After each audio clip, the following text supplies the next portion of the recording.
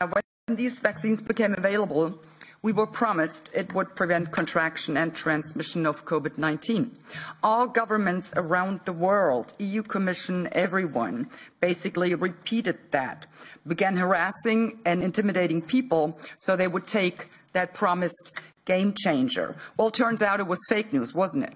Somebody lied, and I want to know who lied.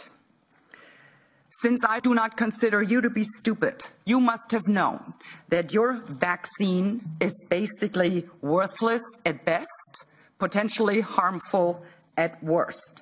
So my question is, did you lie to the EU Commission and governments around the world so they would spend billions and billions of taxpayers' money and buy your worthless stuff? Or did you tell the EU Commission and other governments around the world the truth about your worthless vaccines? And the governments lied to their citizens. Who lied? Just answer me that question, please. Thank you.